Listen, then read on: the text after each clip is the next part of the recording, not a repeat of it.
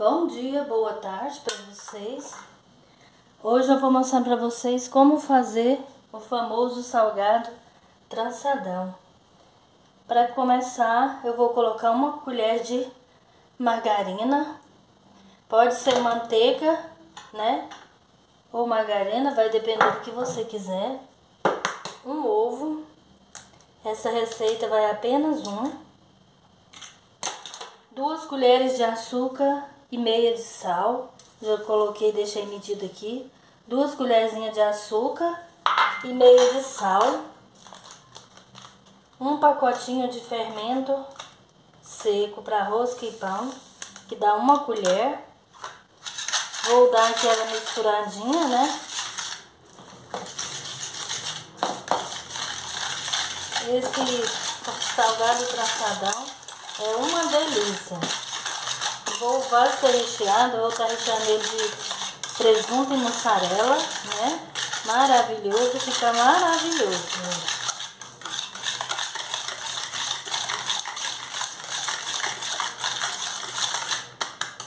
Agora eu vou colocar 100 ml, ml de água. Vou misturar mais um pouquinho. Pra gente entrar com a farinha de trigo trigo não, não tem quantidade. É até dar o ponto aqui da gente estar tá sovando, né? Não tem quantidade.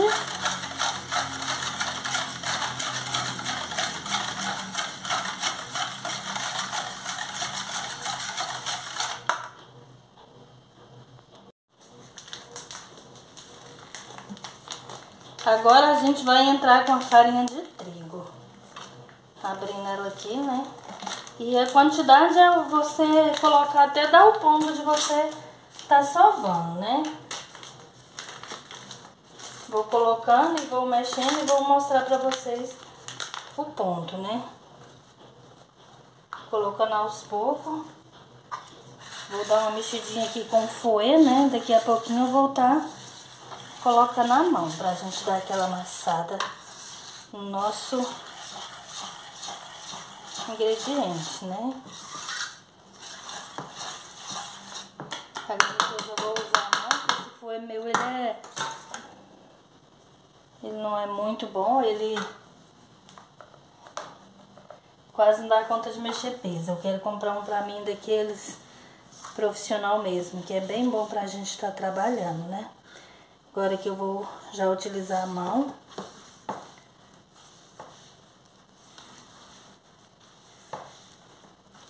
Esse trançadão, gente, é uma delícia para você que, que trabalha com venda.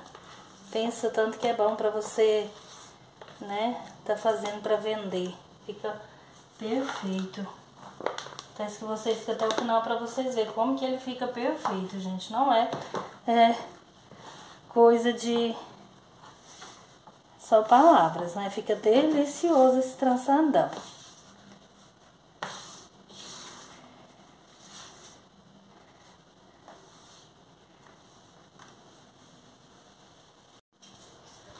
Agora eu vou ele aqui e vou colocando só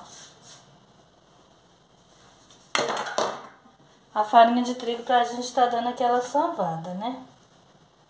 Dando aquela salvada nessa massa. Gente, a massa tá maravilhosa. Desde o início eu já tô percebendo que vai ficar perfeita essa massa do meu trançadão.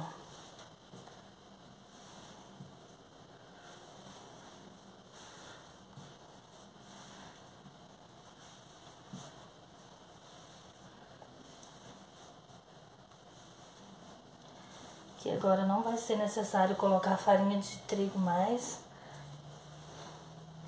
Você coloca só a quantidade de ingredientes que eu disse pra vocês. Só se vocês quiserem bastante, né, que você vai aumentar. Mas se você não quiser muito, você coloca a quantidade que eu mandei, né, que eu tô falando no, no vídeo, que vai dar certinho, gente, fica perfeito. Fácil, econômico e fica maravilhoso. Aí que agora você vai salvando até ele desgrudar todo da mão, né? Eu não vou colocar mais farinha de trigo aqui, só vou dar uma sovada, né? Pra ficar bem gostoso.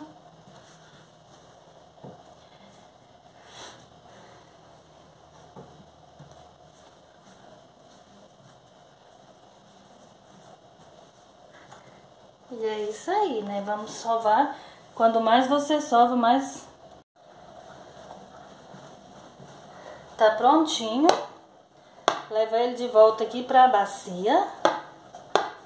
Cobrir bem cobridinho, principalmente se estiver ventando. Coloca num cantinho ou coloca crescer no sol bem cobertinho.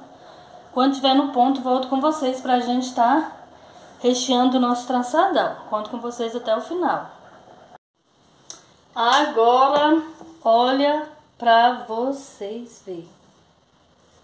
O pelotinho de massa que era, olha no que que ela transformou. Agora eu coloquei farinha de trigo aqui. Vou passar ela pra cá pra gente abrir ela pra nós rechear os nossos trançadão de mussarela e presunto. Maravigold, gente né? Agora eu vou abrir ela toda. Pra gente fazer aquele delicioso trançadão. Olha pra vocês verem. Agora a gente vai abrir. Gente, não dá pra vocês ver pela câmera, mas se você ver o tanto que tá cheirosa essa massa. E você viu o que foi no recheio, né, gente? No recheio não, perdão. Na massa. Coisa simples, gente. Fácil de fazer, né? Deu pra vocês verem, né? E que dá um delicioso trançadão.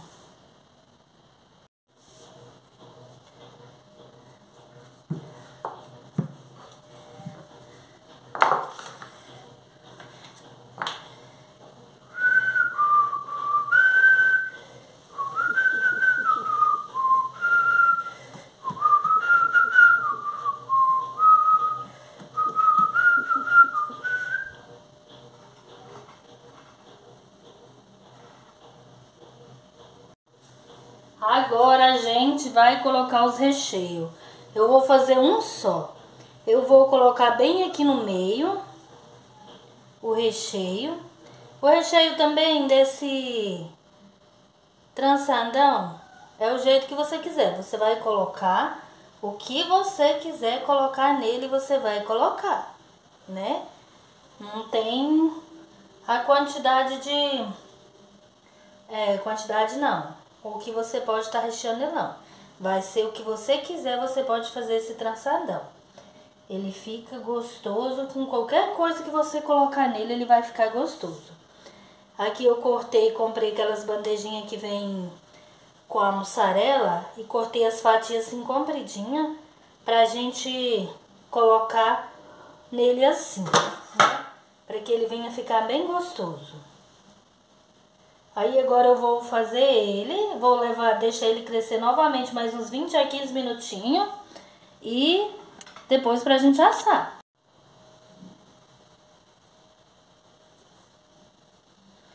Agora eu peguei essa parte, coloquei assim, vamos dar aquela encaixadinha aqui, bem encaixadinha no nosso trançadão, né? Pra ficar uma delícia. Vou dar aqui uma apertadinha, mas isso aqui não precisa não. É só porque parece que aqui na beirinha a massa ficou mais grossinha. Eu vou tá dando uma abridinha nela aqui mais direitinho. Mas é isso aí, gente. Pensa no, na delícia que fica. Agora essa parte aqui, a gente vai cortar ela assim, ó de fora a fora, até chegar lá no final. Vamos cortar as fatiazinhas assim, pra gente dar o ponto final no nosso trançadão, né?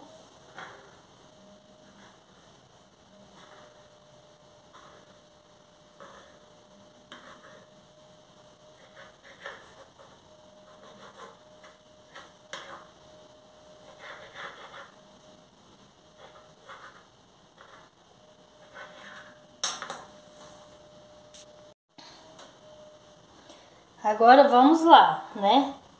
Fazer o nosso trançadão. Você vai levar uma perna pra lá, a outra pra cá, né? Aí depois a gente ajeita lá o finalzinho por baixo, sim. Assim. Acho que ele ficou meio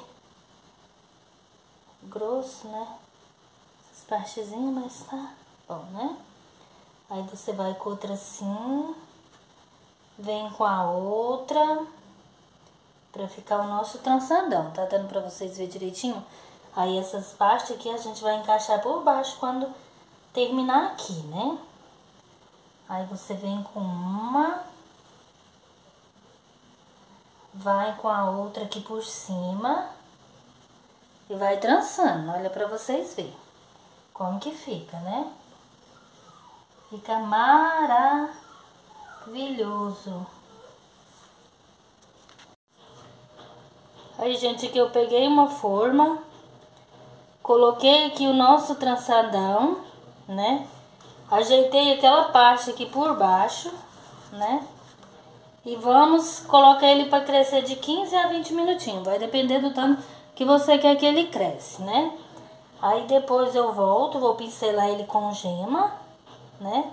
E, e é isso aí. Vamos deixar aqui bem bonito o nosso trançadão. Você que trabalha com venda é maravilhoso para você fazer, vender ele inteiro ou então vender as partes, né, os pedaços. E é isso aí, gente, ficou maravilhoso. Quando tiver no ponto de assar, volto com você. Aí, ó, a gente tá quase no ponto. Eu pincelei ele, coloquei ele pra assar, né? Nem mostrei pra vocês que eu só pincelei e coloquei pra assar. Ficou bem grande. Agora eu vou tirar e vou mostrar pra vocês como ficou o meu tranção, né? E é isso aí, gente. Vamos lá, né? Gente, aqui tá prontinho. Olha pra vocês verem que maravilha que ficou. Agora eu vou partir aqui pra mostrar pra vocês. Tá muito quente. Gente, ele ficou enorme. Pra vocês verem, gente, ó.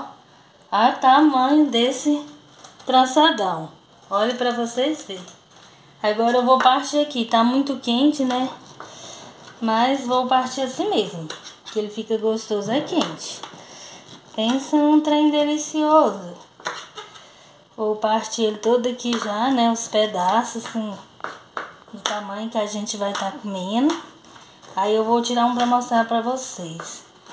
Cheiroso, gostoso, fácil de fazer, econômico e maravilhoso. Vou tirar aquele pedacinho aqui pra vocês. Ai, gente, delícia, que maravilha. Tá muito quente, gente, mas pensa num trem tá gostoso, não tá quente demais pra gente tá partindo aqui, né? Mas é isso aí, vamos lá. Olha, não, olha pra vocês verem esse trançadão. Olha aqui, que delícia. Olha pra vocês verem, gente, olha aqui dentro desse pão. Gente, não tem um trem mais gostoso não.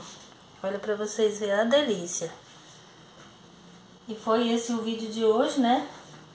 Vou finalizar agora pra mim comer, que eu tô com muita vontade de comer esse pãozinho gostosinho. E é isso aí, gente, né? Quero agradecer a todos vocês, primeiramente a Deus, que Ele não permita que eu desista dos meus sonhos. E amanhã, se o Senhor permitir, volto novamente com mais um vídeo para vocês.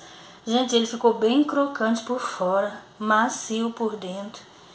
A mussarela, gente, olha aqui, que delícia. Não deixe de fazer na casa de vocês, fica delicioso. E é isso aí. Um beijão e fui!